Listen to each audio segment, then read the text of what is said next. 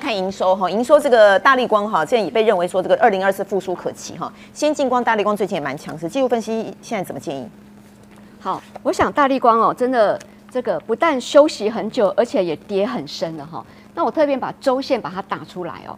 你看，其实呢，这个大概知道点技术分析的这个这个呃操作方法的，我这样一带哦，你大概就清楚了。第一个，这只股票已经跌了一年半的时间了。它的最高点呢，也落在二零二二年的这个最高五千两百一十点，在这一年半的过程当中呢，它是持续的往下跌，最低点跌到一万呃一千五百二十五点，到了这个地方哦，大概是在这一个呃二零二二年的呃六月的左右，那现在不一样喽，这个是周线图，现在这只股票转成多头，但是它在这个均线这个地方开始去做纠结，所以很清楚的我们就知道。这只股票呢，股价在季线之上，周线的季线、周线的月线，而且在这里做行情整理，上面有压力，下面有支撑。其实有上过形态的知道，有知道形态的，简单来讲都知道，这个就叫做矩形的整理。那么这个就叫做箱型的整理。只要这整理一突破，我想机会会非常大。而且哦，你看这个地方整理了这么久，上面的空间哦是非常值得期待的哦。所以哦，在目前上来看呢，我们的周线已经是多头完成了。周线多头完成，其实我们都可以开始所做什么中长格局的操作了哈。所以呢，现在在盘整等机会，但是要注意哦，不是现在马上买。一定要等突破这个压力，我们才能进场。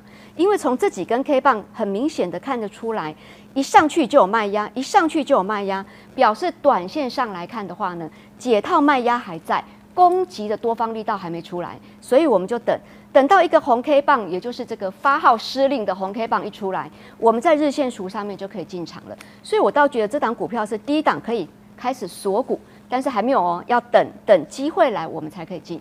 OK，好，可以开始观察后市还可期的哈。好，另外来看到这个电子业方面，中国这边有最新的禁令哦，从这个八月一号开始，这跟这个呃假的这个出口管制哈。那么一般认为会对这个车载电池、监控摄像、行动通讯、太阳能产业造成冲击。那现在当然中国第一的这个产业，西方就是会有战略性方案把它打压哈。接下来包括氢能源汽车，好，有没有怎么看？呃，对，大家会不会比较担心？就是说中国为什么会被一直挨打？就就怕他壮大啊！对啊，你怕他壮大，然后他都不会还手吗？就你进你进我晶片，然后我就被你进，然后你给我什么，我就乖乖的被你打。所以最近各位可以看到那个加跟者嘛，对不对？所以这个部分的一个反击，那事实上它反击的也没什么道理，因为加跟者你基本上你是供应量很大，可是蕴藏量你并不是最多，因为最长最大的蕴藏量还是在美国啊或者是其他的国家，只是因为之前它是高污染的部分，所以中国你开采的早，你开采的供应量大。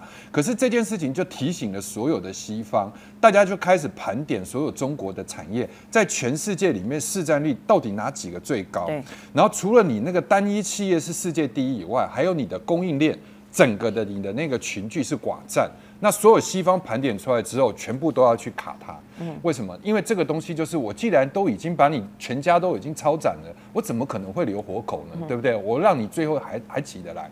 但是它不是要让全世界的贸易因为这样子被中国这一块整个就挂掉。但是他现在在做的事情就是，你只要涉及我国防安全的部分，我全部都把你压。晶片当然是其中之一。可是我问各位啊，你看哦。它的我们先不讲车载电池，行动通讯里面两家公司占了全世界百分之四十九点五趴的市占率，一个是华为，一个中兴。然后你再去看监控摄像里面，四家公司占了全世界百分之四十六点三，这里面就海康威视。然后你再来把太阳能的部分来看的话，四家公司占了百分之四十五点八。如果你是西方，你怕不怕？可是这个东西全部都被禁过了，你看。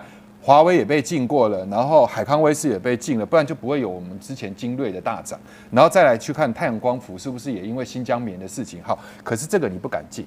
车载电池你不敢进，因为你现在几家公司，一二三四五六六家公司占了全世界百分之六十点五，可是你不敢进，为什么？因为你特斯拉还是在靠宁德时代，然后你所有的一个美国电动车，你就是要靠中国电池。可是你如果真的是美国的话，你怕不怕？你当然怕，因为中国如果这一块的电池真的给它壮大起来的话，全世界都要看它的脸色。所以接下来的话，是不是就有更多更多的替代方案？最近丰田有出来一个新闻，然后就说他已经开始把固态电池这。这一块的话，他已经纳入了一个考量，而且他已经做到这个做成功了。可是问题是你固态电池做成功，跟你量产这中间是两码子事。你可以做出来，但是你放在车子上，那是很久以后的东西。可是现在全世界里面来讲，除了固态电池，更比固态电池更快的，基本上就是氢能。氢能这一块已经做出来，你去看。在二零二二年的时候，就去年的时候，全世界卖了一万五千两百七十三台的一个氢能车，这里面的话，哈，这个呃韩国居然可以吃到百分之六六点五，已经韩国销售了一万零一百六十四台，然后第二是美国，第三是日本，跟大家的想想不一样。那我们现在回头来去看，南韩现在是亲上加亲，政府跟民间在双击，就政府在补贴一半，然后呢，民间就是现代。那日本现在是事必躬亲，倾国倾城。现在基本上就是全力的在拱清，就是由丰田为首啊，倾国倾城就是从东京都开始一直往下延伸，所以全世界现在在做的过程中，台湾这个地方把今年定为氢能元年，然后呢，未来要占九到十二趴。我现在在讲的东西就是说，氢能它现在只有一个东西没有办法去克服，你基本上你要去做到把氢能放在车子上都不会有问题，你就是把它当瓦斯车就对了。哦，对。但是现在是说，我们从港口做好了氢，然后把它运到加氢站，这个也都不会有问题。可是问题是，氢用完了之后，你要用多少的频率把氢瓶放在加氢站，然后再把这个加氢站的氢瓶拿出，以后未来就是换瓦斯桶的概念，嗯，这样子才有办法把氢这个世界给提升。好，那现在我们台湾最快哦，今年年底的时候，第一台氢能巴士应该会做出来，是彩英做的，彩英能源做的。好。那整个氢能巴士的供应链在这里，那我们现在就是把股票用像粽子一样，用高低价位来排序。第一个的话是高利，高利是做燃料电池，它大概就是三百俱乐部、台达电，它跟它两个在 PK。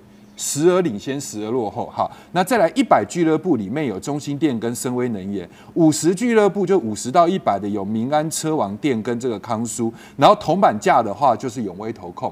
我们现在一个一个来讲，我们快一点讲哈。高利不用说，大家都知道，台达电也不用说，这个是做燃料电池里面的 SPS，然后中心电也是，深威能源，深威能源是自己已经开始研发的一个事业部要去搞清。民安这个公司哈，就是很有趣。因为它是在供应国内唯一的氢品，然后车网电是要做巴士的，康舒也是做跟台达电相同的，永威投控是因为它就是持有所谓的深威。那现在如果用股价的一个结构来讲的话，我们最后来提一个比较大家没有办法想象的一个东西，就 AI 涨到这里的时候，它已经把所有的股票都排挤了。就现在大家其实都认为 AI 是主流，可是 AI 里面有落队的，有有有已经开始有脱队。刚刚这个林老师有特别提到，比如说你看着伟创跟英业达、广达，你就觉得说所有的股票都很棒，可是你跑去买人保，你会被套，对，或者是你去看到秦城很强，但你跑去买续品，你被套了。所以这个现在就是说，已经开始有一点点在分歧哈。但是同一个时间点里面，这一些股票里面，比如说华晨今天攻涨停，或者是什么什么要开始转强，它就是趁你在不注意 AI 的时候，它已经开始有一些股票有火种。那现阶段的话，各位去看今天的民安，一个股票经过了一个大跌了之后，为什么大跌？因为你高尔夫就不会出货了嘛。高尔夫现在大家都补货补的差不多了，可是现在已经没有人在去做高尔夫的一个题材。对不对？因为它的它的坏已经反映在它的业绩上。可是你股票在坏的过程中，你已经做了一个横向打底，然后今天突然一根红棒拉上去，人家在想什么？想是你国内唯一可以做清屏的，对不对？就是做那个轻的瓦斯桶屏的那一种，因为你那个清屏一定要用卡泵来做。所以现阶段的一个股价在落底的过程中，突然做了一个长阳棒。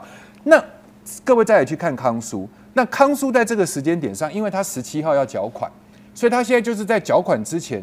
很多人会卖老股认新股，那你等他把这个化这个卖压给化解之后，搞不好人家缴完款之后，它的股价就正式动。因为接下来八月份要公布七月营收的时候，你 A B B 的营收进来，你基本上就是今年成长五成，嗯，对不对？那这种模式就是高利跟华孚的模式。所以我讲到这里的同时，就是要提醒大家，你一手是做 A I 的短线，这个我不反对。